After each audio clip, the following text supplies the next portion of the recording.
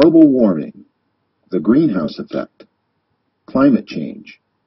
These buzzwords have been echoing through the media for years now.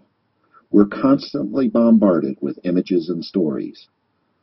Melting glaciers all over the globe and sea ice that diminishes every summer.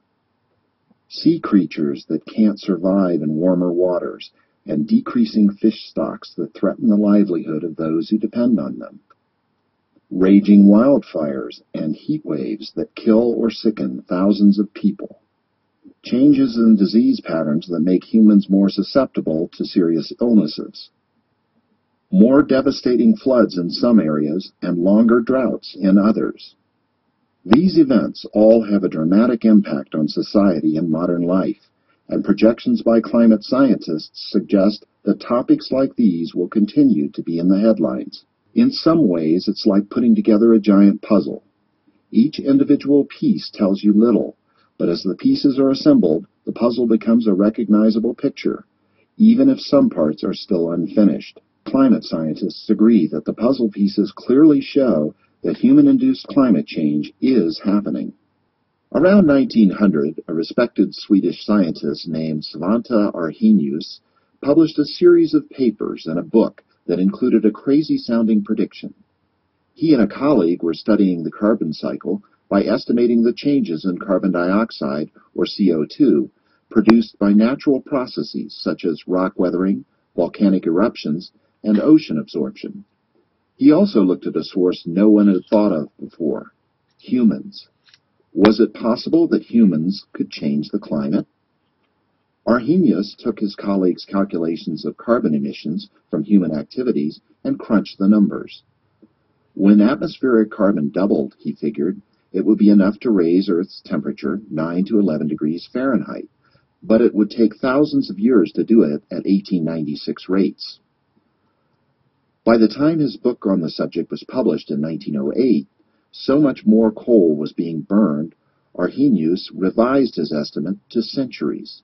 In the hundred years since Arrhenius made his estimate, remarkably close to today's best figure, today climate scientists agree that multiple lines of evidence clearly show that human-induced climate change is taking place. Earth's climate shifts over time because so many different land, ocean, and space phenomena have a hand in it. The sun is the main driver of Earth's climate as it provides most of the energy. The sun's energy output increased about a tenth of a percent from 1750 to 1950, which contributed about 0.2 degrees Fahrenheit warming in the first part of the 20th century. But since 1979, when we began taking measurements from space, the data show no long-term change in total solar energy, even though Earth has been warming. Repetitive cycles in Earth's orbit can influence the angle and timing of sunlight. The tilt and wobble of Earth's axis and the degree to which its orbit is stretched produce the Milankovitch cycles, which scientists believe triggered and shut off ice ages for the last few million years. But these changes take thousands of years, and so cannot explain the warming in this century. Drifting continents make a big difference in climate over millions of years by changing ice caps at the poles and by steering ocean currents, which transport heat and cold throughout the ocean depths. These currents, in turn, influence atmospheric processes. Snow and ice on Earth also affect climate because they reflect more solar energy than darker land cover or open water. Huge volcanic eruptions can cool Earth by injecting ash and tiny particles into the stratosphere. The resulting haze shades the sun for a year or two after each major blast. Dust and tiny particles thrown into the air by both natural processes and human activities can have a similar effect, although some absorb sunlight and help heat the climate. Greenhouse gases, which occur both naturally and as a result of human activities, also influence Earth's climate. Earth's surface absorbs heat from the sun and then re-radiates it back into the atmosphere and to space. Much of this heat is absorbed by greenhouse gases, which then send the heat back to the surface, to other greenhouse gas molecules, or out to space. This is commonly called the greenhouse effect, but the blanket effect may be more appropriate. Though only 1% of atmospheric gases are greenhouse gases, they are extremely powerful heat trappers. By burning fossil fuels faster and faster, humans are effectively piling on more blankets, heating the planet so much and so quickly that it's hard for Mother Nature and human societies to adapt. Though carbon dioxide gets the most press, it's certainly not the only greenhouse gas, nor even the most powerful. However, humans produce more of it than any other greenhouse gas, and it's very long lasting. In the United States, CO2 comprises more than 80% of total greenhouse gas emissions. The other greenhouse gases are both natural and human-made.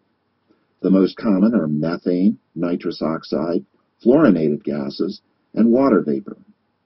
Methane, for example, is only 8% of U.S. greenhouse gas output, but is 21 times more powerful than carbon dioxide per molecule, although it does not stay in the atmosphere as long. It is produced naturally in wetlands, melting permafrost, termites, belching cows, and by human activities, such as fossil fuel production, landfills, and rice cultivation. Water vapor is by far the most important gas in the natural greenhouse effect, contributing 60% of the effect to carbon dioxide's 26%. Human activities don't directly increase water vapor. Instead, Warming produced by other gases, such as CO2, increases evaporation and allows the atmosphere to hold more water vapor. And in fact, satellites have detected an increase in atmospheric moisture over the oceans at a rate of 4% per degree Fahrenheit of warming since 1988. This additional water vapor then adds to the warming because water vapor is a greenhouse gas. More water vapor can also produce more clouds, which have a complicated effect of both cooling the atmosphere by reflecting light and warming it by trapping heat below the clouds. The main factors that determine the effect of greenhouse gases on climate are the amount and rate of greenhouse gas emissions, the effectiveness of each gas in trapping heat, and the length of time that each gas stays in the atmosphere, for example, CO2 lingers in the atmosphere for hundreds of years. Other greenhouse gases, like water vapor, are more powerful on a molecule-for-molecule basis, but the flood of man-made carbon dioxide emissions into the atmosphere this century and its atmospheric staying power are why carbon dioxide is the focus of concerns.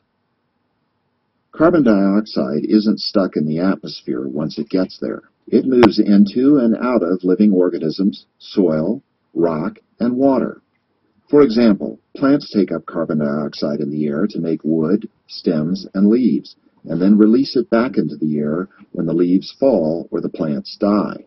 Forest fires release large amounts of CO2, providing an important reason to preserve forests. Animals, including humans, take up carbon when they eat plants and then release CO2 back into the atmosphere via respiration. Over very long time frames, the weathering of rocks can add carbon to surface waters that run into the ocean. Eventually, this carbon is removed from the water and forms limestone. It can later be released back into the atmosphere from volcanoes when the rock is melted.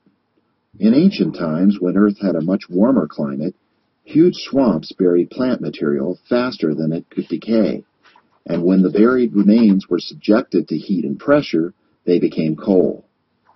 In similar ways, microorganisms buried on lake and sea bottoms throughout Earth's history produced oil. These processes locked up lots of carbon as oil, gas, and coal.